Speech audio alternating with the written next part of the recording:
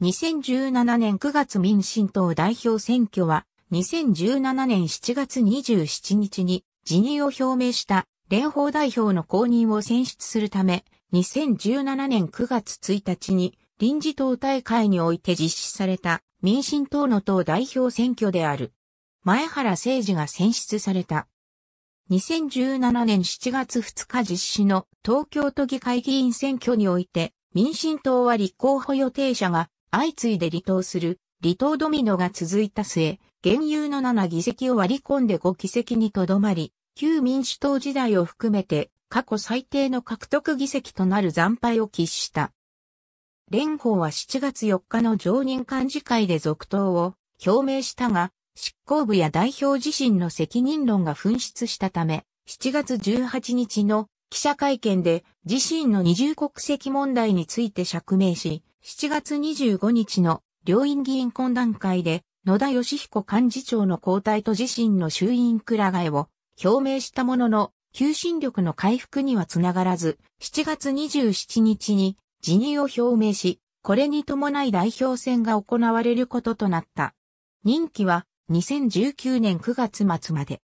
8月2日の両院議員総会で代表選を8月21日、告示、9月1日投開票の日程で行うことが決定された。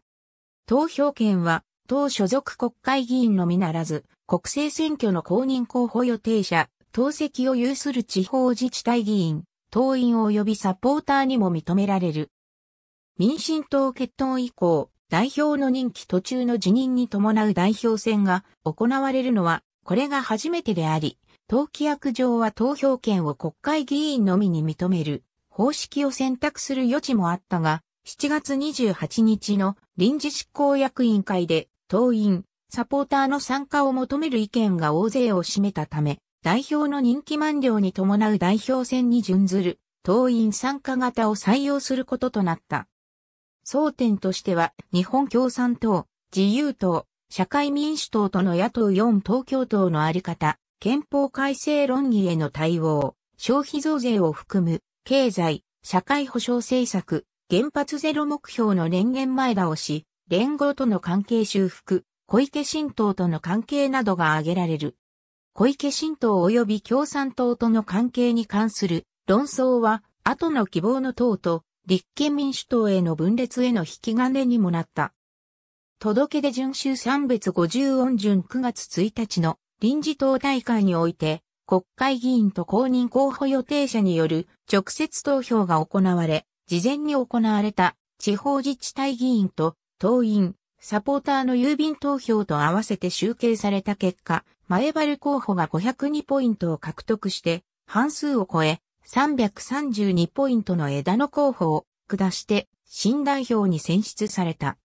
なお、前原が野党第一党の党首に就任するのは2度目、2005年から2006年まで民主党代表を務めて、以来11年ぶりの再登板となる。今回の代表選では、国会議員票で無効票が発表という異例の多さとなり、離党予備軍との見方もあることから、前原新代表は、就任記者会見で白票が多かった。大変厳しい党運営になるのではないかと述べて危機感を示した。